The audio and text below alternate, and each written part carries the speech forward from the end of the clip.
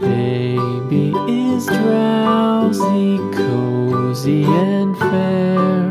Mother sits near in her rocking chair. Forward and back, the cradle she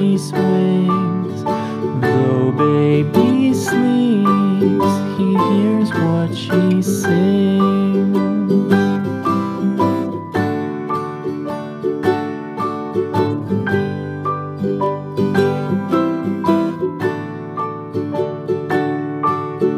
From the high rooftops down to the sea, no one's as dear as baby to me.